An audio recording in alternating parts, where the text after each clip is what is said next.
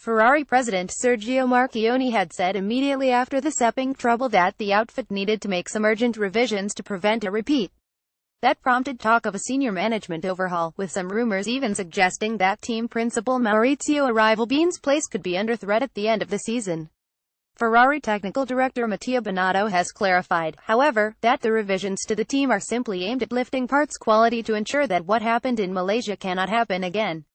I think that to improve your performance you need to improve your car and your package, but you also need to improve your organization, he said at the Japanese Grand Prix.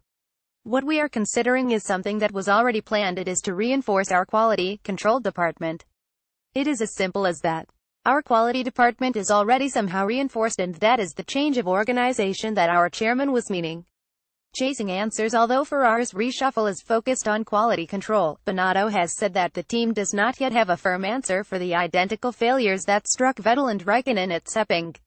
It is true that the problems we had were completely unexpected, he added.